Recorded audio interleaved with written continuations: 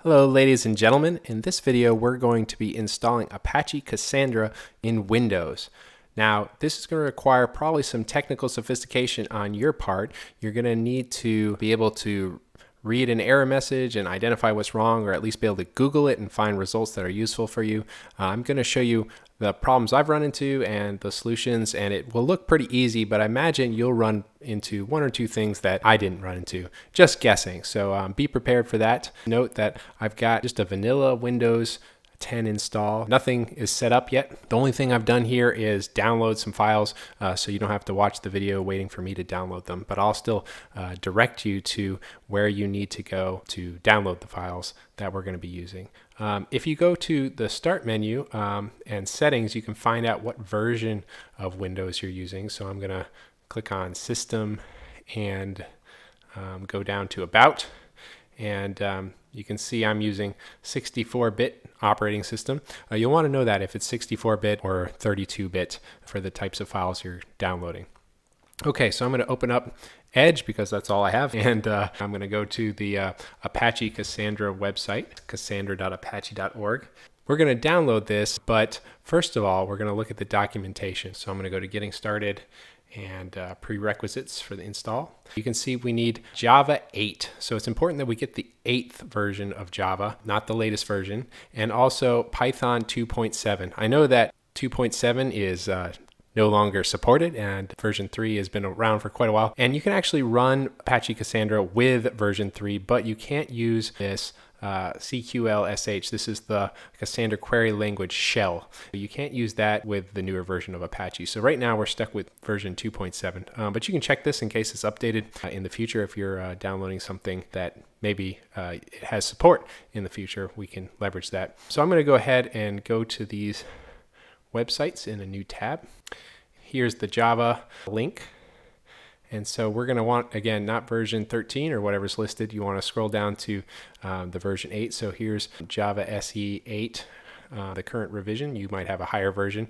And we want to download the Java Development Kit, the JDK. Um, you can get away with running with just the Java Runtime Environment, the JRE. Um, however, the JDK, the Development Kit, will allow you to uh, develop in Java. And we are going to be writing some Java applications later. So this will help us with just one download. Now here, I'm going to accept the license agreement and then I'm going to um, download the x64 because I have 64-bit machine. If you have 32-bit, you'll want the um, x86 version. And uh, if you click this link here, it actually makes you have require an Oracle account. So you need to create one if you don't have one or sign in. Once you sign in, the download just pops right up. So that's a little annoying. Uh, it's a free account. Um, sorry about that. Um, okay, so I already have that download, so I'm not going to do that part. Now for Python, um, we're going to go to downloads. We're not going to go with the latest 3 point whatever. Um, so I'm going to click on Windows here and I'm going to go to latest Python 2.7 and uh, scroll down. And again, there's an x86-64, so that's for 64-bit machines. Or if you have 32-bit, go with the 32-bit version. So click that. Okay, we'll also need Apache Cassandra. Um, so I can go to the download page here. And um, we're actually not going to use uh, the 3.11.5 version.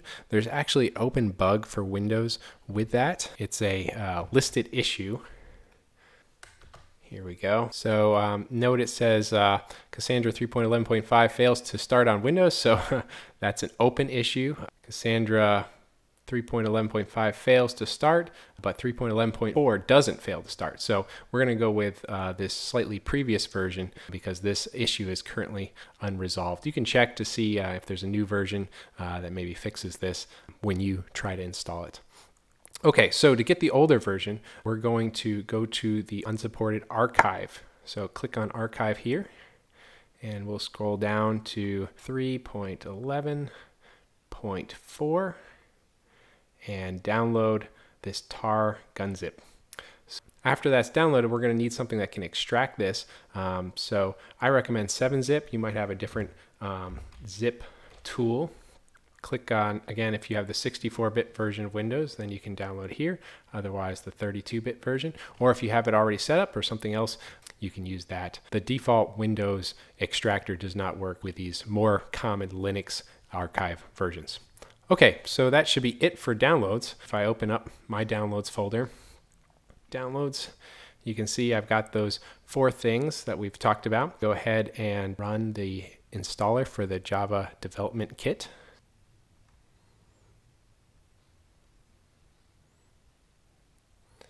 And we can really just click next. This is fine.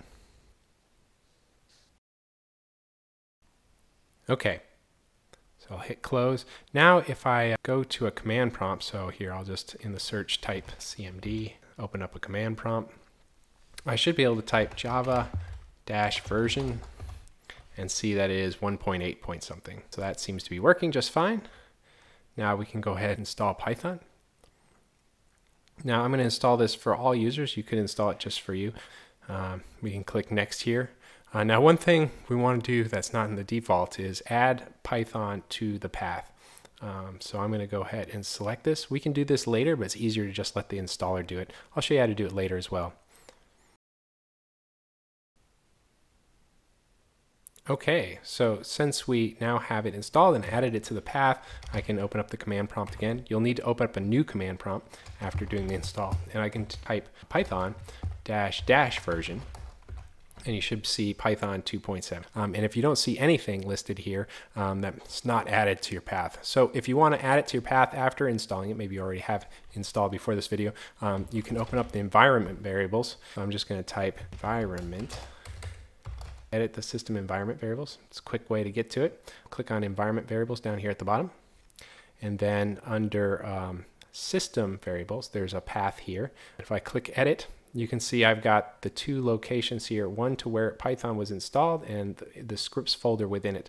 Um, so you can check to see that that is in fact where Python uh, lives and add it accordingly uh, to your environment variables. After you make those changes, if needed, you can just hit OK and OK and OK again, and then reopen a command prompt to check to see if it's working. Okay, so now we've got uh, two of those things set up that we need. The next thing that we need is uh, Cassandra. Um, so I'm going to go back to the downloads. We're going to extract Cassandra here. And so in order to do that, we need the 7-zip, which I downloaded, or another archive tool. It's pretty fast. All right, so now I can right click on Cassandra and go to 7-zip, and I'm just going to extract it here and this will extract the tar and then we can extract the tar. So I'm to do it again uh, to get the actual files extract here. This will take just a bit longer. And uh, if you're prompted to overwrite files, then just hit yes to all. That seems to happen. So here's an example. I'm just going to hit yes to all. And then here's the file. Now I like to put this file in the root of the C drive. Um, so I'm going to cut and paste it into the root of the C drive. Um, you could put it into program files. If you put it into program files, you'll have to run your command line uh, using an admin command line. So that is just one extra step that I don't want to have to worry about. Now, what we can do is open a command prompt, navigate to this. So I'm going to navigate to Apache Cassandra slash bin. We should be able to test it out to see if it works. Now you might run into some problems, but let's just test it out. So I'm going to type in Cassandra the, the more important area here is saying Java home environment variable not set. So we need to set this Java home environment variable. So go back to the environment variables we can just do a, a user variable here if we'd like. Um, I'm going to make a Java underscore home and I'm going to browse to where Java was installed. By default, which is what I just clicked through, it's installed in program files. So C program files Java, and then we're going to go with the Java runtime environment and not the bin, just, just the Java runtime environment here. So I'm going to click OK, click OK, and that variable has now been set. So I need to restart the command line, cmd, navigate to uh, Apache Cassandra, slash bin, try it again.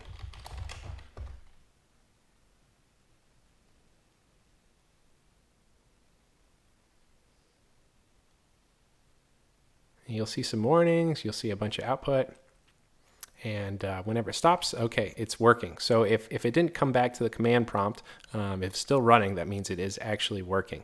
Uh, now you may have um, a situation where you run into a problem with it saying not enough heap space or something. I've had that problem where on systems with more memory allocated, and so I'll just show you uh, how I would fix that. This is what I had to do um, on a previous install. I went to the Cassandra folder, um, and then inside of conf, there's a JVM options. So I'm just going to open that. Let's see, Notepad will be fine for now. And I'm going to scroll down. You could probably use a search, um, but near the bottom somewhere there's some information about the heap. Here it is. So heap settings.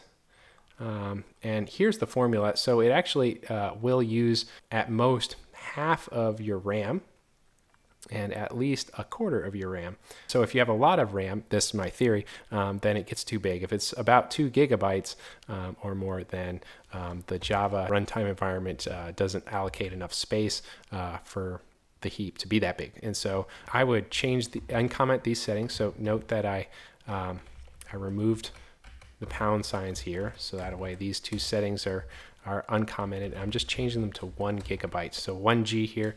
Uh, so this is the maximum size. I'm just setting that to one gigabyte and the minimum size.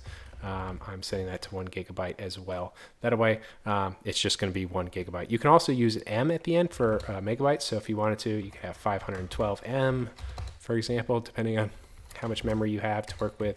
Um, I'm not sure if it makes um, too much of a difference. I'm just going to go with one gigabyte here uh, is my my recommendation to try first if you run into that heap allocation issue. Um, I don't have that, so I'm not gonna not gonna bother saving it um, just now. Okay, another thing that we saw before, if I scroll all the way up to the top here, is there's this um, please use this PowerShell command to get rid of the restrictions so we can take advantage of the full features. Might as well do that. Um, so what I'm going to do is I'm going to open up a PowerShell. So I'm going to just search for PowerShell. Uh, PowerShell, Windows PowerShell.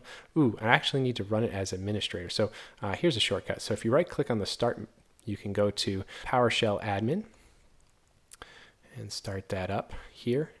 Um, and then we can actually just run this command that's listed here, set execution policy unrestricted.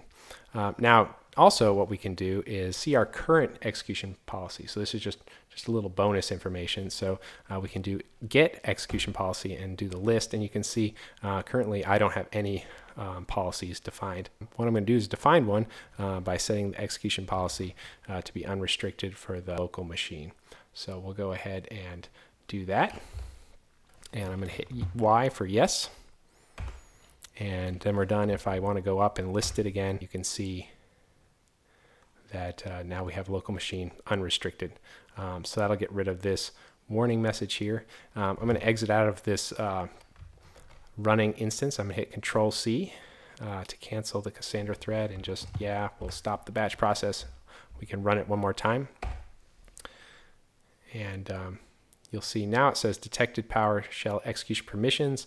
Um, let me just scroll up so we can see that part again. So um, it's uh, running with enhanced startup, you can see right there. So we've got that going on. There's a couple more warnings here that um, we're just going to not worry about. Um, feel free to let me know if you have any insights into those, but I don't think they're, they're going to be a major issue. So it seems to be running just fine.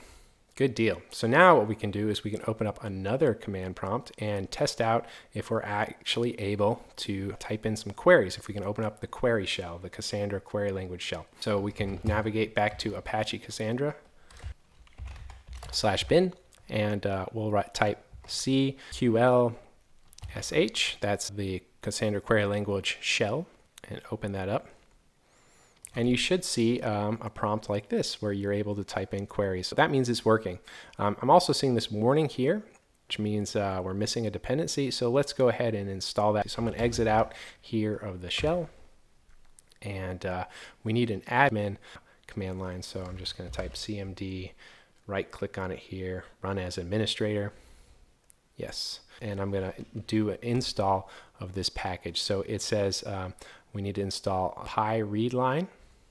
I'm going to copy that. I'm going to do pip install. Pip is the Python installer for packages, and then PyReadline.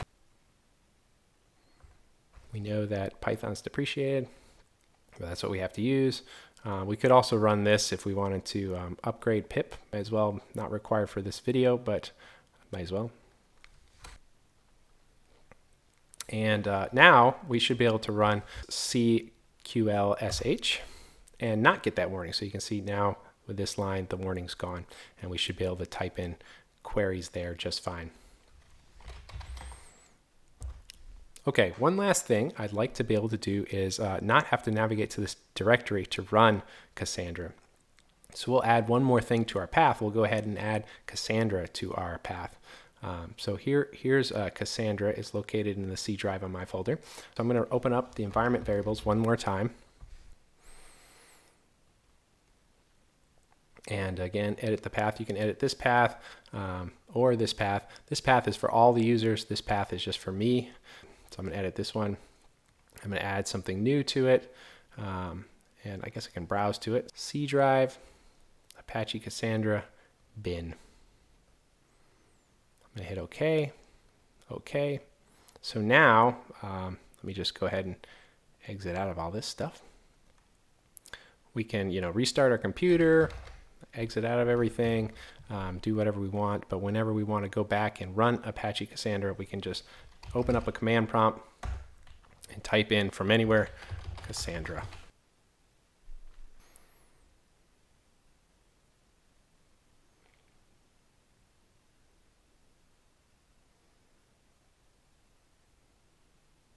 And uh, when that finishes, we'll be able to open up another command prompt. Yeah, I'll just open up another one.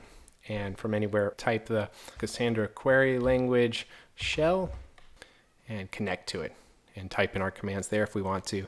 Um, obviously, we're going to create an application uh, to use with this as well.